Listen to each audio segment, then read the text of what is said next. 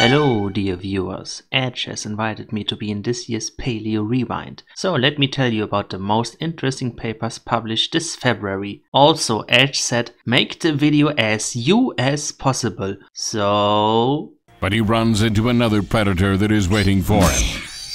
The claws of the Therizinosaurus pierce the youngster's body. It's a total fabrication. Not this time. It never happened.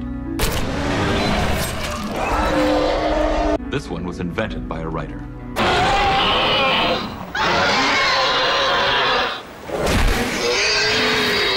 It's an urban legend that never happened.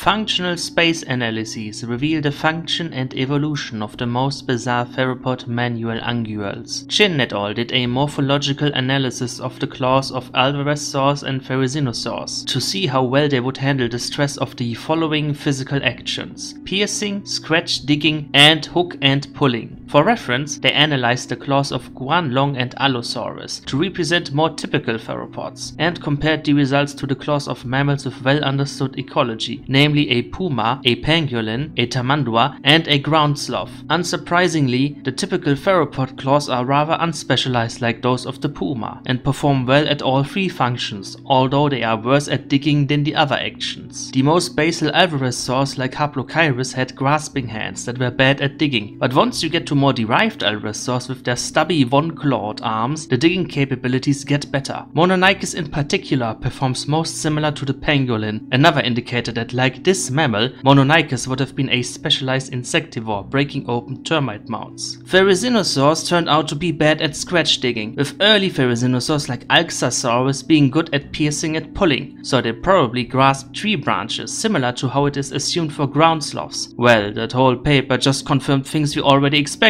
what's the big deal? Oh, this is the performance of Therizinosaurus itself. And it turns out the long claws of Therizinosaurus suck at everything. Digging, pulling, piercing. All result in high stress levels that the claws wouldn't be able to bear. So unfortunately, Therizinosaurus probably didn't slap giant theropods with its claws. It probably couldn't even pull in tree branches for feeding like its earlier relatives did. Not that it needed that at its size and neck length. Even when you account for how much larger Therizinosaurus is than other Therizinosaurs, its claws are disproportionately large. You hate to hear it, but those oversized claws were most likely used just for visual display. On the plus side, imagine how cool their mating dances must have looked like.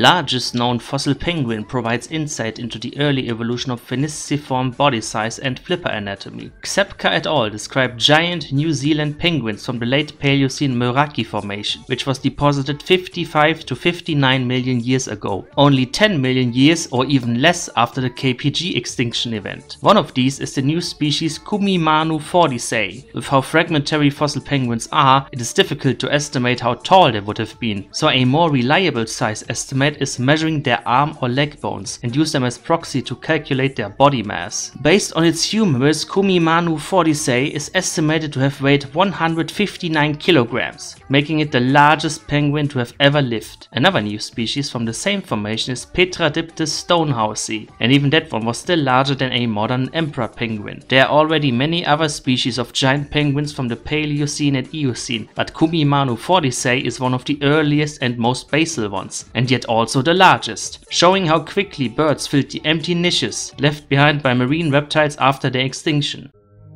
A Mesozoic fossil Lagerstätte from 250.8 million years ago shows a modern type marine ecosystem. The Permian-Triassic boundary is marked by the most severe mass extinction in the history of Earth. Over 90% of species died out, more than at the end of the Cretaceous. Paleontologists used to believe that the extinction was so devastating that it took many millions of years for marine ecosystems to recover step by step, with the early Triassic only providing for primary producers and primary consumers, with secondary consumers like crustaceans and ammonoids only appearing at the beginning of the Middle Triassic and tertiary consumers like fish slightly later in the Middle Triassic. But now, Dai et al. have described a fossil assemblage from the Daye Formation near Guiyang in South China. It is the oldest known Mesozoic Lagerstätte at 250.8 million years, just 1 million years after the Permian extinction event, and it already has a complex ecosystem with several different bony fish, for example Coelacanthi forms. Maybe this assemblage represents a refuge where marine life was sheltered from the effects of the Permian extinction event, or maybe we underestimated how quickly life could recover from even the most devastating extinction event in the history of Earth, and that our sparse fossil record of the early Triassic is just a result of preservational bias. Triassic nursery? Evidence of gregarious behavior in juvenile Pseudosuchian archosaurs as inferred by humeral histology of Aetosaurus ferratus, Norian, southern Germany. Aetosaurs were herbivorous Triassic crocodile relatives who basically were ankylosaurs before ankylosaurs were even a thing. The most famous member of the group is the large spiky Desmatosuchus from North America, but the name giver of the group, Aetosaurus, is a small featureless animal from Germany, only up to 1.5 meters long. The best Aetosaurus material is an accumulation of 24 individuals between 20 and 82 centimeters long from the lower Stubensandstein near Stuttgart. Teschner et al. have sectioned two humeri from this assemblage, one of the smallest and one of the largest, to study their histology. Bone histology gives information about the growth of an animal and therefore its age, and these bones were highly vascularized and show no bone resorption or annual growth marks, indicating that these were juveniles that were not even one year old. With even the largest specimen being so young, it becomes more likely that the genus Aetosaurus is currently only represented by juveniles. There is a larger Aetosaur from the Stubensandstein, Paratypothorax, that may turn out to be the adult form of Aetosaurus. Another interesting fact about the assemblage is that it doesn't show any evidence of post-mortem transport, which means that all these juveniles lived and died together. Maybe they even originated from the same clutch. A giant phytosaur, Diapsida archosauria, from the Upper Triassic of India with new insights on phytosaur migration, endemism and extinction. Phytosaurs were carnivorous Triassic crocodile relatives who basically were crocodiles before crocodiles were even a thing. Hey, wait a second. Dutta and Ray describe a new phytosaur species based on at least 21 specimens from a bone bed in the Upper Triassic Tiki Formation in India. The largest complete mandible is 1.1 meters long, with the entire animal estimated to be over 8 meters long, making it one of the largest known phytosaurs. Hence its name, Colossosuchus techniensis. Phylogenetic analysis nests it within Mystriosuchinae, where it forms a clade with two other Indian phytosaurs that have not been described yet. This is the earliest case of phytosaurs endemic to Gondwana, despite the fact that phytosaurs as a whole are distributed across the entire globe. Phytosaurs probably dispersed during the Carnian through inland waterways and along the Tethyan coast, with many taxa going extinct in the early Norian as the climate became drier.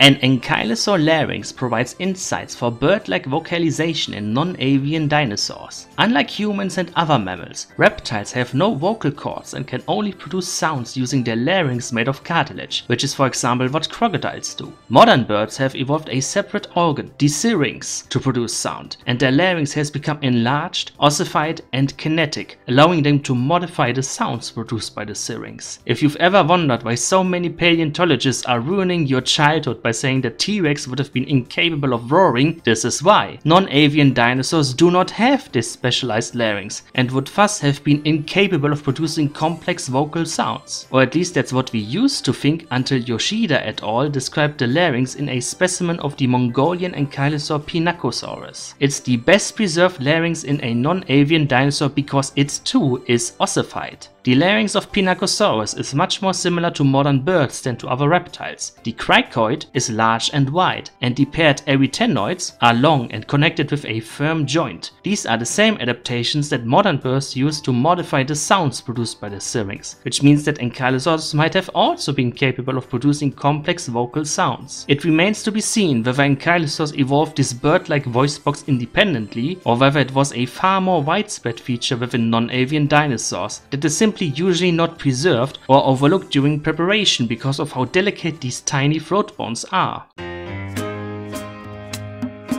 Modified skulls but conservative brains? The paleoneurology and endocranial anatomy of baryonychine dinosaurs Theropoda Spinosauridae. With their long slender snouts and conical teeth, Spinosaurids clearly were to some degree specialized for catching aquatic prey and probably lived a semi-aquatic lifestyle. So you would expect their brains to also reflect adaptations for this lifestyle. That is what Barker et al. set out to do by CT scanning the brain cases of two baryonychine spinosaurids from early Cretaceous Britain, Baryonyx and Ceratosuchops. And the special thing about these baryonychine's brains is how non-special they are. The team compared the brain cases to the endocasts of other, more typical theropods and surprisingly found barely any differences. The inner ear is similar to abelisaurs and allosauroids and would have allowed these theropods to hear low-pitch frequencies, and the olfaction is similar to ceratosaurs, allosauroids and basal tyrannosauroids. A different study had previously looked at the brain case of spinosaurine spinosaurids like Irritator and found them to have high-pitch hearing and reduced olfactory bulbs, which the authors had considered indicators for an aquatic lifestyle. Now the baryonychine brain cases diminish the importance of these features. If the brain of a baryonyx is so similar to that of an Allosaurus or Ceratosaurus, it seems like any of these theropods had the theoretical pre-adaptations to evolve into a semi-aquatic niche, with the important factor not necessarily being to change the anatomy of the brain, but just to modify the snout and dentition.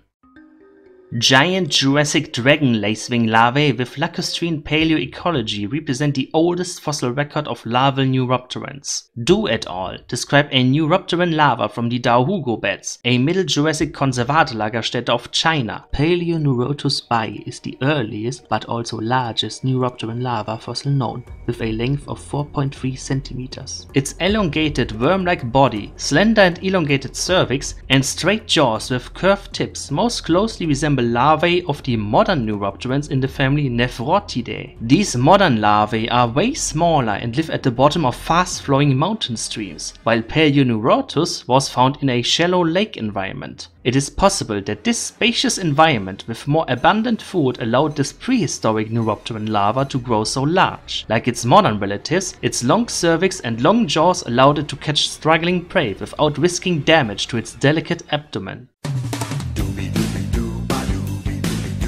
First monotreme from the late Cretaceous of South America. Modern and fossil monotremes are only known from Australasia, with the exception of a single fossil from Paleocene South America named Monotrematum. Now Chimento et al. describe Patagorhynchus pascuali from the early Maastrichtian Chorrillo Formation in southern Patagonia. While it is only a jaw fragment with a single molar, it definitely belongs to a monotreme, showing that monotremes were already spread across Gondwana in the Cretaceous. So far, no monotremes monotremes are known from northern Patagonia, but not just the mammals, but also dinosaurs differ in the north and south. Abelisaurids and saltasaurines are found in northern and central Patagonia, while Megaraptorans and Colossosaurians are found in southern Patagonia. These different faunas probably reflect different environments, with a dry and warm climate in the north and a humid and cold climate in the south. In fact, other authors have even argued that some anatomical characteristics of monotremes, like their low metabolism and electroreception, are results of evolving within a polar environment.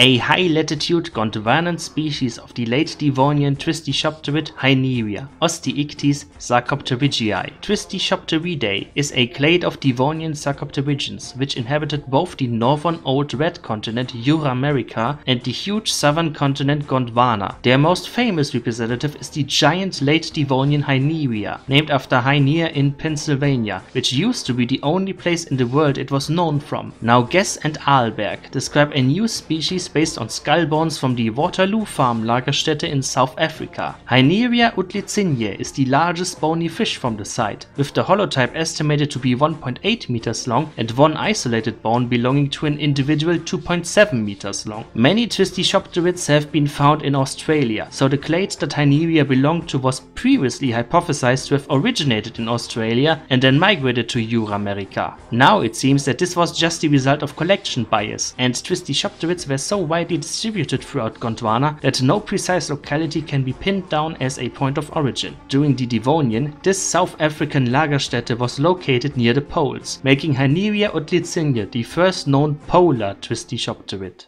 But it's becoming increasingly obvious. I can deny it no longer! I am small.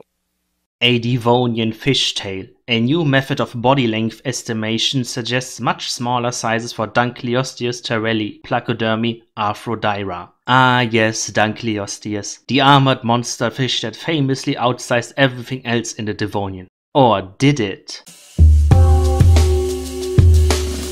You see, being an Arthrodire placoderm, Dunkleosteus had an ossified skull and thorax armor, but the rest of its skeleton was made from cartilage and thus never fossilized. All those spectacular claims of 8, 9 or even 10 meters in length never had any real basis. Sometimes smaller Arthrodire relatives known from complete fossils like Coccosteus are cited as the basis, but with their different proportions you would realistically get different size estimates for Dunkleosteus depending on which specific bone you use for reference. So Russell Engelman set out to find a proxy that would accurately estimate a fish's body size regardless of phylogeny, that would be consistent in extant fish whether shark or bony fish, and would also work for arthrodires known from complete body fossils, and that would also be applicable to a fossil like Dunkleosteus that is only known from its head and thorax armor. The proxy he decided on was the length from the orbit to the opercula, as this is dictated by the fish's brain, orbit and gill chamber. These organs constrain body size because the gills cannot be too small to replenish the body with enough oxygen, but also not too large to require more energy than they would produce. Plus they have to be optimized for allowing the body to retain a hydrodynamic shape. Unless you are dealing with a fish that has a very extreme body shape, this proxy correlates pretty well. The simple rule is that a fish with a long shallow head will have a long shallow body, and a fish with a short deep head will have a short deep body. And Dunkleosteus has a deep head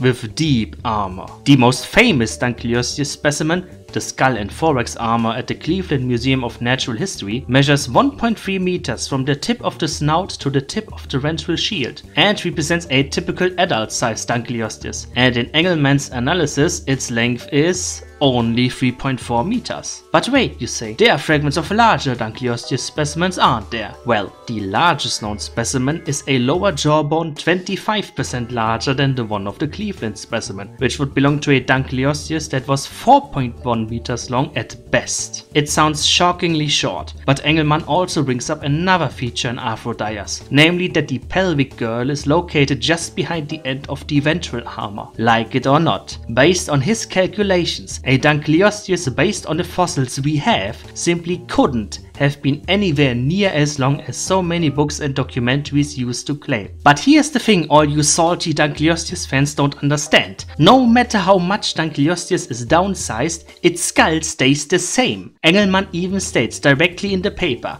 based on mouth size, a 3.5 meter Arthrodire can effectively fill the same ecological role as a 5.5 meter shark. Also, this shortened body shape just means that you should no longer see Dunkleosteus as an armored shark, but instead as an armored tuna. In other words, a cannonball with jaws. In other words, a freaking real life bullet bill. This paper got such a huge reaction that Engelman wrote a follow-up article in November to re-explain the science behind this and his title was What Shrunk the Dunk?